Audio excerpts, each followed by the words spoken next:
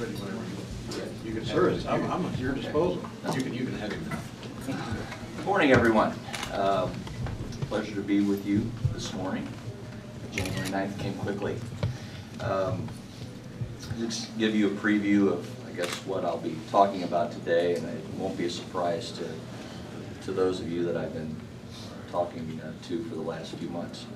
Um, I continue to be very concerned about the national economy, but uh, I don't have a lot to say about what they do at the federal government. But I am concerned also about the state's economy and the challenges that we have. And uh, as I look at how we rank from a regional perspective with the eight neighboring states that we have, I believe that we need to pursue a broad agenda if we are to be a leader in our region.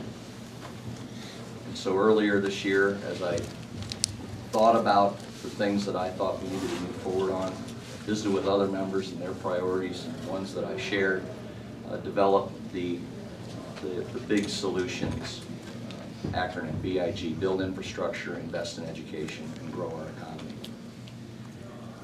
And so those are the items that I'll be talking about, is what each of those means. And uh, I'm going to start with the G first and grow our economy. And I'll be talking about moving forward and enacting reforms in economic development, tax policy, and addressing legal climate issues. And um, I believe that uh, as I look at the makeup of the Senate, the members that are coming back, those that are coming in, uh, there's reasons for great optimism that it's going to be a very productive year. And at the top of the list, I would put moving forward on comprehensive economic development and tax credit reform legislation. Senator Justus can speak to the pressures on the western side of the state. Those, that's not the only place uh, where uh, we're fighting to keep jobs or to, to try to attract entrepreneurs and businesses to our economy. But I think with State Line Road, that's where it's clearly evident and how our policies uh, have us in a position where we're lagging other states and not leading. And so Kansas last year pursued a, a, a very aggressive cut in income tax on small businesses. In the, in the Missouri Senate this year, we're going to pursue an income tax cut. And it needs to be done in a way that grows our economy.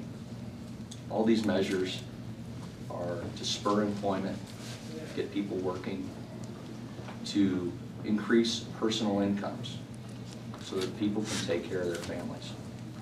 And so cutting income tax will send a message to the rest of the country and those in the state of Missouri that Missouri is headed in the right direction and we need to be responsible about how we do that. And I know that our senators, both in committee and on the floor, will put good legislation together that we can move forward and send that message. So economic development, tax policy, and on legal climate, revisiting the, the workers' compensation system, addressing the second injury fund problem that we have, taking care of those people that have claims, so addressing that side, and then, and then going back and putting in place a workers' compensation where workers' compensation is the sole remedy for workplace injuries. So that's the grow our economy, invest in education. Uh, Our members uh, on the Republican side have talked about the necessity um, to continue to invest in higher education and K through 12. Uh, We're seeing some budget growth now to the point where I think we're getting out of crisis management. We're going to continue to find where we can restructure state government and deliver services more efficiently, which is going to help us meet that commitment to education. Tax credit reform, reducing our exposure to tax credits and the economic development is going to help us meet that commit- commitment to education. And then, you know, one thing I'm going to bring up, which we're going to have to identify the revenue stream, but moving forward on a new investment in classroom and research facilities. I want to include that vocational technology. Not every person in Missouri is cut out for a four-year degree. And there are good paying jobs, which we just need people to be qualified for them. So supporting VOTEC, I think is something that we need to talk more about. And on infrastructure, um, we need to move forward on a new transportation plan for the state of Missouri. I'll outline in, in my remarks today, uh, several things that are occurring that are driving down consumption. And we have a consumption-based tax. We've still got the same number of lane miles in the state of Missouri, but the revenue that we have to take care of those roads is declining.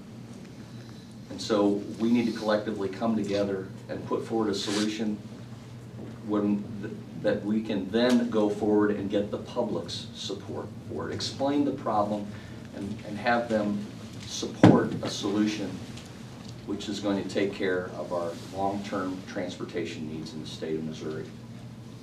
As you look at us geographically on a map, Missouri being in the center of the country, we should be a hub for the movement of goods and services. And we need to have an infrastructure system that can handle that activity. And so it's time to move forward on a transportation plan. Those, are- those are, those are just a few of the items that I'm gonna be talking about, that are priorities of mine, and a number of the members of the Senate share. And uh, I look forward to this year, and I um, believe, once again, that with the membership that we have, it's going to be a very good year for the state of Missouri. Thank you. I'll Allow uh, Majority Leader Richard